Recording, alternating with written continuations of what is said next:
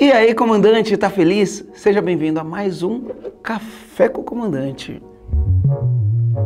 E ó, já aproveita, rola essa página e deixa a tua pergunta. Uma hora eu vou responder ela, beleza? Hoje eu tenho uma pergunta aqui para responder aqui para você na série O Café com o Comandante. Se liga na pergunta. Ah, já aproveita.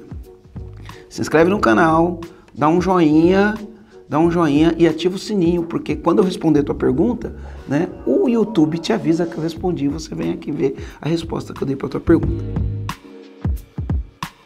Hoje, especificamente, eu vou responder a pergunta do Curly BR, deve ser o nome da empresa, né? Curly BR. Oi Marcelo, você compartilha o lucro com seus funcionários? É uma pergunta. Oi Marcelo, você compartilha o lucro com seus funcionários? Alguma experiência ou boa prática que os comandantes tenham dividiram com você? E se a empresa ainda dá prejuízo de vez em quando? O que fazer para a equipe não desanimar ou ficar com medo? Nossa, não é uma pergunta, são várias perguntas e perguntas não, não necessariamente correlacionadas, tá? Então, primeira pergunta, se eu compartilho o lucro. Ó, o Brasil a gente tem algumas legislações que a gente precisa de um bom advogado. Eu sempre falo, né? Todo cara rico que eu conheço tem um bom advogado. Então, você precisa de um bom advogado para te orientar da maneira correta. Mas eu vou falar o que eu conheço e o que eu faço. Você pode fazer um plano de distribuição de lucro. Você pode ter lá um programa de distribuição de lucro. Porém, se você fazer um programa de distribuição de lucro, esse programa tem que ser homologado né, no sindicato da categoria, tá? Precisa homologar. E aí você distribui lucro para os funcionários. Como que eu faço na minha empresa? Eu não distribuo lucro necessariamente. O que, que eu faço? Eu pago remuneração variável. Essa remuneração variável, ela vai de 2 a 7 salários.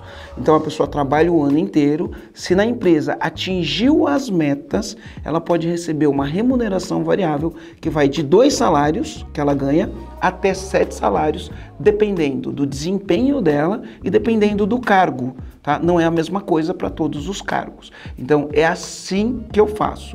Eu conheço empresas que fazem distribuição de lucro, mas todas as que eu conheço que fizeram isso tiveram um trabalhão danado para homologar o programa de distribuição de lucro dentro do sindicato. Porque o programa de distribuição de lucro é muito legal, porque na distribuição de lucro, né, o funcionário não paga imposto e você não paga o INSS quando você distribui o imposto. Quando você paga uma remuneração variável, você paga ISE, INSS, INSS, enfim, né? O funcionário vai pagar imposto sobre esse valor que ele recebeu a mais e no final das contas, né?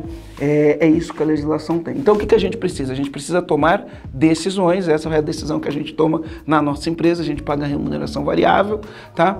E algumas empresas distribuem o lucro, né? Tudo tem prós e tem contras, tá? Dependendo do teu sindicato, você vai demorar uma eternidade para aprovar um programa de distribuição de lucro. Bom, comandante, então eu já respondi parte das suas perguntas. Agora tem coisa aqui que eu não respondi ainda, né? Ele colocou: "E se a empresa ainda dá prejuízo de vez em quando?" Você não distribui prejuízo para o funcionário, né?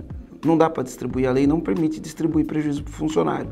Você monta uma empresa, você corre riscos você corre risco. Então não dá para distribuir prejuízo, tá? Se você teve prejuízo, você não teve lucro. Se você não teve lucro, também não dá para distribuir, distribuir lucro. Não faz o menor sentido, né? Então, o prejuízo é só teu, você não distribui com ninguém, e o lucro você distribui, né? Se essa for a política da tua empresa, enfim. Se você quiser no longo prazo estar tá no jogo com um time altamente capacitado, você vai ter que dar lucro, vai ter que distribuir uma parte do lucro, pode ser remuneração variável, pode ser distribuição de lucro, não importa, tá? É lógico que, por exemplo, quando eu faço uma remuneração variável, eu atrelo isso a uma meta de faturamento e lucro, beleza? Bom, uh, então não dá para distribuir prejuízo para os funcionários. O risco é só teu, só meu, tá? É só teu e só meu. Eu falo só meu porque eu tenho cinco empresas. Se eu tiver prejuízo, o problema é só meu. Os funcionários não têm nada a ver com isso, beleza? Bom, e aí você pergunta aqui: o que fazer para a equipe não desanimar ou ficar com medo? É.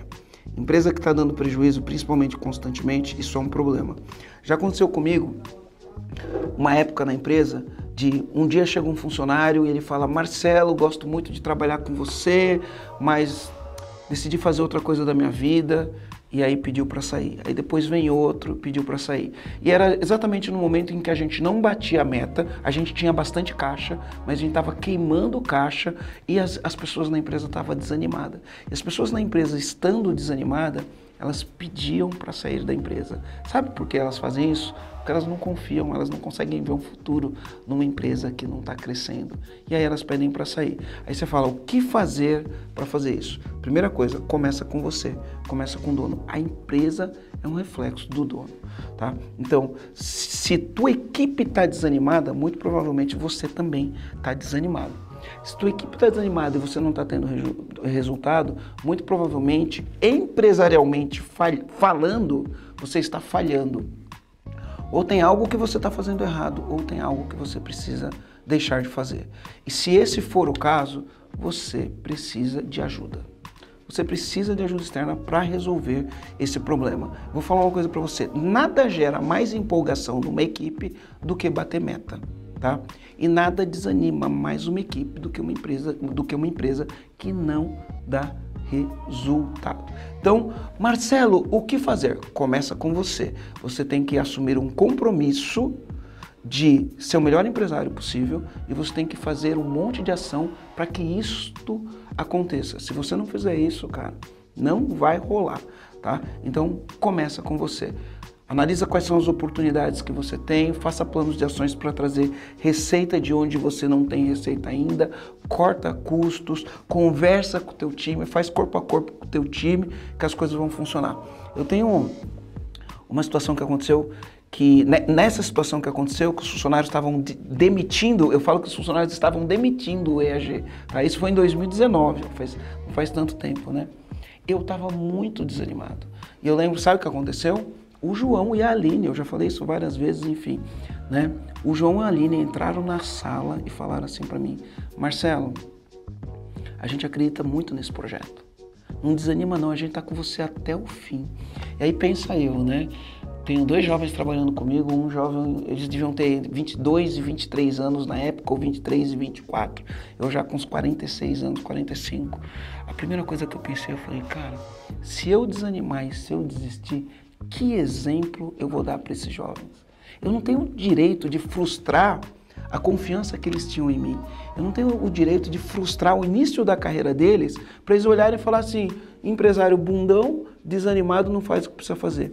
Mas principalmente eu tive a força, o apoio, né? E aí, por mim, talvez eu nem faria. Por mim, talvez eu nem faria. Por quê? Porque eu tinha outras empresas, eu estava indo muito bem nas outras empresas mas eu fiz por eles. Então, se você estiver desanimado, né? Se não for por você que você vai fazer a tua empresa dar resultado, por quem você vai fazer, tá? Por quem, né? Quem que você não pode decepcionar que vai fazer você ter ação e compromisso? Beleza? Conversa por você, é isso aí, comandante. Valeu.